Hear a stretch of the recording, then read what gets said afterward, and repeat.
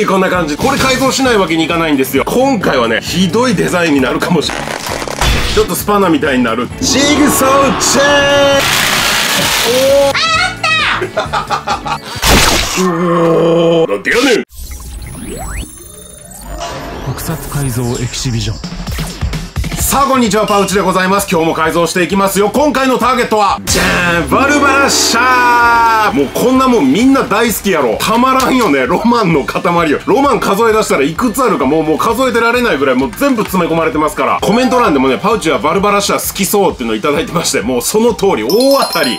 大好き。この細かいなんかサビの感じとかもねすごいよね。もうこの通りにサビ塗装していけばうまくいきますよっていうこんな優しい武器今まで見たことない。これ改造しないわけにいかないんですよ。よしでこれをねでっかくしていきたいと思います。スパナさんが変身する時に変身って言わない感じがね無理やり感がプンプンするでしょ。あの感じでね無理やりいろんなものくっつけてでっかくしていくっていう改造をやってみたいんですよ。これは楽しみ。よしじゃあ早速改造していきましょうか。今回も楽しんでいきましょう。ワンですワンです。今回ばかりは俺もどうなるかわからんぞ。でもそれが強制錬金術の面白さなのだよ。よしじゃあまず分解からなんですけどここの紫のこれ。これを取りたいんです。どこまで分解すれば取れるのかわからないですけどね。やっていきましょう。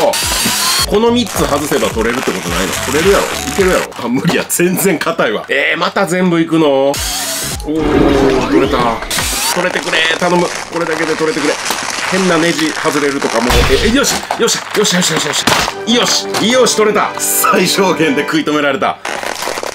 これとこれは取れました。こうするとちょっとスパナみたいになるっていうね。なんかなんか使えへんかなこれで。使えへんか。無理やな。まあこれ置いとくとしてこっからどんどんでっかくしていくんですけどね。もうこれね言っちゃえばもういろんなパーツつけられると思うんですよ。それこそホームセンターに売ってるいろんな工具系とかネジでかいネジとかね。まあうちにもこういう鉄くずコレクションっていうのがありますけどね。こん中からもやっぱいっぱいつけれるでしょうしこんなんとかもね良さそうでしょちゃんと回るんですよ。こんなんをなんかこの辺に組み込んでみても 良さそうな気するやん。こんな感じ？ここにガポンと行くか。邪魔か。もう本当にすごい自由度が高いなと思うんです。過去最大のものをね僕は今回狙ってるんですね。先日おかげさまでチャンネル登録者数が7万人を突破しました。よいしょー！本当にいつも見てくれてる僕の大事なワンネスたちのおかげです。あ、ワンネスっていうのはみんなのことね。急やびっくりしたな。僕の大事なワンネスたちに本当に感謝してます。いつも応援ありがとう。これからも新しい企画ちょいちょい挟みながら、2023年10万人目指してます。これからも応援よろしくお願いします。ありがとうございます。さて、ここからいろんなパーツつけていきましょう。まずこの先にね、これをつけていきたいと思います。これは前に違う改造に使ってたもので、ちなみにどういう改造品だったかというと、バイスタンプを使う最強の剣ですね。でかい生物の力を扱うでかい剣ということで、通信ギミックが独特だったせいでなかなか進まなかったリバイス改造の貴重な一振りです。マンモスバイスタンプ好きなんよね。どう？なんか強そうでしょ？何でも倒せそうでしょ？で塗装もね結構重厚な感じで塗装済みでございますこれを大胆に使っていきますさあさあさあさあどうなるかねこれのね大体この辺まで使いたいんですよね。だから分解してちまちまニッパーで切っていくでもいいんですけどせっかくなんであれいきましょうか。ジグソーチェンス。いくぜ。おお綺麗にいった。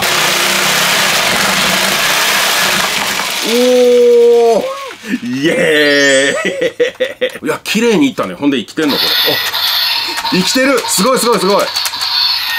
これはこれでなんか使えるやん。やった。キワキワいったんやな。そしてこれをここにね突っ込みたいんですよ。だから結局これをまた分解します。ビス外す。いらない部分をニッパーで整えてはめてみてまた調整してを繰り返しました。でもなんかしっくりこない。はいまたここハンダゴティングって言ってます。大きめの穴を2つ開けて内部のこの2本の棒にはめたろうとしてます。なんとかはまったけどやっぱ不安定なので。もうじゃあここはめちゃおうか。無理やりはめればもう多分固定されるでしょう。角度調整しながら慎重に締めてます。でもやっぱり緩いので。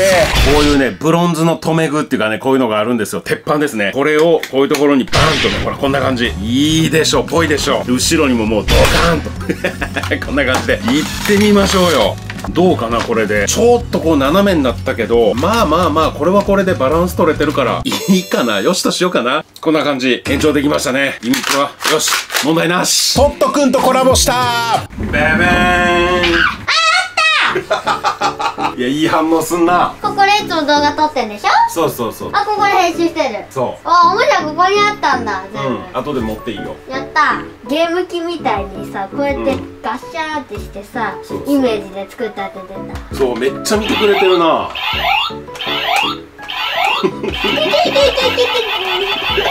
トットくんありがとう。楽しかった。みんなチャンネル登録してねさあそれで今度こっちなんですけどここにねこれ今 CSM で話題ですね。話題沸騰中。ゲネシスドライバーまあこれはこの通りうるさいやつなんですけどこれをつけたいと思います。こんな感じでね。でこれ僕当時ね分解してギア外してでこうジジジってならないようにする代わりにこの自動で戻るというねギミックを捨てるという改造をやってました。こうやってやって自分で自分でゆっくり戻すっていう。で音量ブーストもして楽しんでたんですよね。これはまた中古でめっちゃ安く買った別のやつなんですけど CSM も5万円とか当たり前になったな。いやーすごいわ。ヒリヒリするよね。これをこっち向きかこっち向きか。まあこっちかな。こうガコンとやってね。こっちの方がなんかここつけやすそうです。ここつけるために。これちょっとだけ分解します。この僕がいつもね使ってるドライバーめちゃくちゃ便利なんですよ。ここにバッテリーがついててねバッテリーも超長持ち。ほんでこの黄色ねこれ最高なんですよ。ていうかこれをねちょっとね詳しくみんなにね紹介してあげたい。これがいかにコスパがいいかということね。というわけで目指せ案件ガチャパウチの勝手に商品レビュー。さあ今回パウチが勝手に紹介するのはこちら。Amazon で売ってるインパクトドライバードリルドライバー。正解が追いつかない。僕が普通に紹介する。Amazon で売ってるドリルドライバー。これも皆さんおなじみ。僕がいつも改造で使ってるドライバーですね。ここを付け替えることができてドリルとかいろんなものがはめられます。これ以前はねコード付きの赤いドライバーを使ってたんですよ。で軸がブレブレになってきたから新しいの買いたいなと思って探してて Amazon でこれを見つけました。バッテリー式でバッテリーこのように2個ついてます。だか片方充電しといて片方使う。でなくなったらまた次付け替えてこっち充電しとく。っていうことが可能です。充電器もちゃんとついてます。僕は分かりやすいように黄色いマスキングテープ巻いてますけど通常は真っ黒です。でもねこれ相当持つよ。まあ使い方にもよるけど僕みたいに改造でちょちょっと使うぐらいなら1ヶ月とか持つんじゃないかな。僕が気に入ったポイントとしてはまずこの色黄色と黒。もう無条件でかっこいい。そして強さが調整できるんですね。ここでもこれで調整できるしここでも調整できる。さらにここも調整できる。っていうので一番弱いのだと一番強いのだとまあ分かりにくいと思うけど速度が結構違います。ここ親指とこっち人差し指。これで回転の方向切り替えが可能です。ワンタッチでとても便利。ここに LED がついてて多少暗いところでも照らしてくれます。安心。狭いところに入れたり角度をつけたりできるこういうアタッチメントもついてますしこれブラシタイプのねこういうもの。磨く時に使いますね。っていう付属品もこのようにたくさんついてるんですけど僕は付属品はそんなに実はいらなくて。やっぱこのデザインとバッテリー 21V で威力の切り替え。この辺で選びました。そして何より値段がね割と安めです。通常の有線ではなくてバッテリーで動くタイプはインパクトドライバーって言うんですけど結構高いんですよ。自分で調べてみるとねよくわかります。これ2023年10月10日現在8650円に1000円オフクーポンもついてます。この値段でこの性能が買えるのはなかなかない。だからパウチみたいなドライバー欲しいけど何買っていいかわからんなというそこのあなた。ぜひ同じもの買いましょう。これおすすめです。ただ一点重さがね結構重い。1.2kg あります。1.5リットルペットボトルよりちょっと軽いぐらい。だから長時間こうやって腕を浮かせた状態で使ってると腕がプルプルしてきますけど普通にちょっと使う分には問題ないんじゃないかなと思います。商品ページは勝手に動画概要欄に載せておきますので皆様ぜひチェックしてください。さあパウチと同じこのドライバーを買って君も今日から改造 DIY なんでもできるかっこいい道具を使って楽しくものづくりしていこう。どうですか僕のアイテム紹介。シリーズ化いけそうですか？いろいろねやっぱ紹介したいわけですよなんでこんなに案件が来ないかなで、この辺で止めるために、このくぼみあたりまでか。ここをね、もう切り取っちゃいます。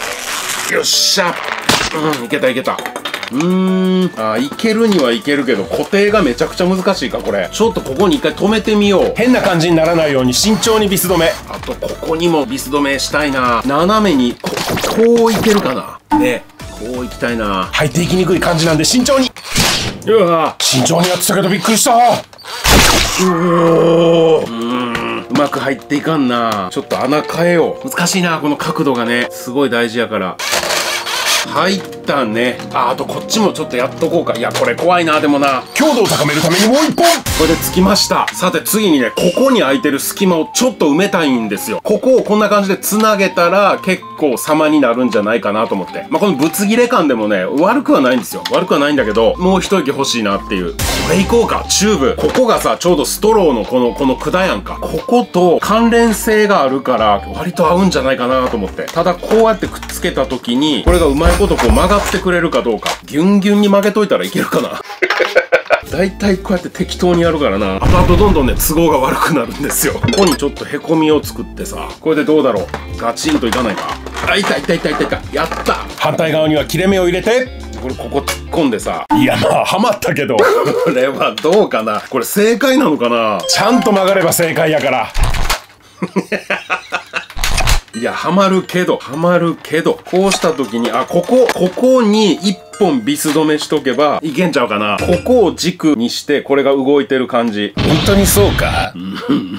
どうかな。ちょっと違う気してるよ、俺。正直。でもやってみよう。進むしかないねん、もう。今回のパウチの改造は思い切りが足りないなビスもゆっくり打ってばっかやし突き破った？オッケー。ほらやっぱぬるいわ今回のパウチあ、やったやったやった。開けた。穴にぴったりいった。これで、どう？ほら、いけた。このビスもそうやけど終始ぬるい。と反省する編集中のパウチです。よしよし。これでなんとなくなんとなくここ。ちょちょっとぼっこりしたけどまあまあこれもデザインってことで。万代書店川越店さんプレゼンツ。あなたの中古おもちゃで僕が改造しますという企画やってます。買取期間は10月いっぱい。詳細はショート動画で出してますのでそっちを見てください。動画概要欄にリンク貼っとくからみんな参加してね。アンダゴ TV! さあ続いてはこれだ。こっちか。ネオディエンドライバーの昔塗装してねもうマスキング大失敗していいってなって黒焦げにしてやったやつ。一応ちゃんと動くねんで。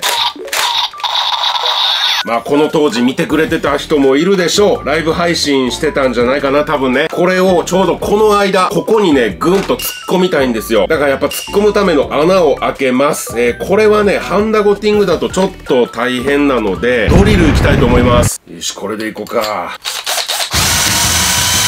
怖えー。うわー。怖え。うんとね、カバーが、カバーがバキッと折れました。でもほら、いい感じに穴は開いたよ。よし、ここ突っ込めますか。なんでやねん。あの、これ、ゲネシスドライバーの先にディエンドライバーくっつけて、パーチ何してんのって思ってる？いや、あのね、いつもならね、頭の中に大体イメージがあって、その着地点に向かって進んでいくんだけど、今回は、ぼやーんとなんかあんねん。でもほんまにこれでいいのかどうかは正直わからん。いや、今回はね、もしかしたら、ひどいデザインになるかもしれんけど、まあ最終的になんとかしようと思ってます。だからその辺もね、ちょっとドキドキして不安に思いながら楽しんでいただけたら嬉しいなと思ってますよ。チャンネル登録は今すぐ。一気に固定していくおっしゃ。まっすぐになるように調整しながらうおー。いいね。よっしゃよっしゃ。繋がってきた。もっとこっち繋げる つもりなんだけど。全体でねだいたい150、60センチになればいいかなっていうイメージ。でもっと短いとこで止めるかもしれんけどね。友達の YouTuber 埼玉うどんこ TV のりんさんプロデュース埼玉うどんフェアに行ってきました。うどん美味しかったな。いや第2回もあったら絶対行きたいな。うどん屋さんに行ってうどんを食べる動画を出してる埼玉うどんこ TV マジでうまそうに食べるから一回見てみ。その日の夜はうどん食べたくなること間違いなしっつって。さてここまで作ってきましたけどバルバラッシャーの元々のイメージこちらです。これと比べるとだいぶ形の印象が違いますね。それはここから修正して近づけていくつもりなんですけど今の時点でこのパイプこれがねやっぱ違う気がする。だから思い切ってせっかくつけたけどこれ外そう。もっとね、まっすぐなイメージにしていきたいんですよ。で、その上で、このパイプの膨らみっていうのはね、やっぱり邪魔になると思います。これでひとまずスッキリしました。で、ちょっとした装飾なんですけど、ここ、回すところですね。このレバーに、これ出ました。街とか家の周りでたまに見かけるレバーですね。ガスかな？なんかそんなやつ。これが大好きなんですよ、僕。これをここにつけたいと思いますが、このネジだとすると抜けちゃうね。だからね、ネジはある程度選ばないといけないんだけど、こういうワッシャーってね、これをかまして、この真ん中の穴から抜けないようにします。よし、これで、どれかな？あれこれも、あー、金属入ってるわ。えー、強敵やな。この金属貫けるという噂のビス、どうだろう？あ、無理やな。無理やわ。そうか、どうしようかな。こういうの無理なのか。えー、じゃあどうやってつけたらいいんやろ。この周りで行くか。真ん中に打つのは諦めて、結局こんな感じで固定しました。割とかっこいいよね。ちょっと浮いた感じで斜めになってるんやけど、それも魅力ほら。やったちょっと斜めでいびつやけど、まあまあそれも無理やりのね、強制錬金術として捉えられる範囲じゃないかなと思います。まあ俺の主観やな、これはな。完全に。意見分かれんな。お叱りコメントいただいてしまいそうやけど。まあまあまあまあいいでしょう。で、次にね、全体のイメージを持ちやすくするために、やっぱここの赤色がね、ちょっと邪魔をしちゃってると思うんですよね。ここを一旦シルバーに変えます。もうスッといくね。ほい。まあ軽くマスキングしました。続いて色チェンジ。うい、こんな感じでシルバーになりました。メキ調スプレークロム、これでやりました。で、そろそろ前半の動画終わりかなっていうとこなんですけど、ここで皆様にね、重大な事実を発表いたします。この剣に対しての持ち手、ちょっとでかすぎやしないかって思う方もいるかもしれない。でも、いっそこここうやってこう、これで10でいいんじゃないのっていうね、そういうの思ってませんか？さあ、ここで重大発表。なんとね、この改造、こっちが剣じゃないんです。こっち持ち手です。僕はずっとそのつもりで作ってました。こうやって持つんですね。で、ここを持って、こうやって使うつもりでいました。で、ここにブレードを仕込んで、剣にするつもりだったんですけど、で持ち手でも攻撃できるようにと思って、この土豪剣激怒を選んだんですけど、そうするとね、なんかこのイメージとすごい被るなと思って、バルバラッシャーってもっとね、ズドンっていうイメージじゃないですか。こんなシュッとなってないでしょ。だからこれ多分ね、違うのよ、このパーツ。だから、ここ、外します。別のパーツをつけようと思うんだけど、ちょっとそれやってると、まだ前半の動画長くなっちゃうから、これは次回後半でやりたいと思います。とりあえずこれでサムネを作るんだけど、ここのイメージだいぶ変わります。で、こっちにもブレードを仕込むんだけど、これがね、もうちょっとアイテムここ足して少し長くして、今考えてんのがこの透明の定規。これをここ何本かつなげて、まあうまいこと配置して、ブレードにしようか、それかもう板で、最初から木材でね、ドカーンと作っちゃうかっていうので考えてます。やっぱ工具っぽさを強調したいなと思うので、物差しはちょうどいいんじゃないかなと思いますが、皆さんどんな意見をお持ちですか？で、ここにもね、前にサビ塗装したこういうのあるんですよ。これをもうはめちゃって、専用の、まあロックシードじゃないんだけど、一応音声ギミック働かすための、これね、まあ何かをつけようと思ってます。あ、マスキング剥がし忘れてた。あるあるやな。で、あともうちょっとだけ考えてること伝えとくと、こことここ、せっかくのクリアゾーンですね。僕がここを何するか、もうわかりますか？そんな感じで前半終わっておきたいと思います。皆様ご視聴ありがとうございました。チャンネル登録ぜひともお願いします。じゃあまた後半見てね。ワンネスは、あ、ワンネスはもう最初にやったか。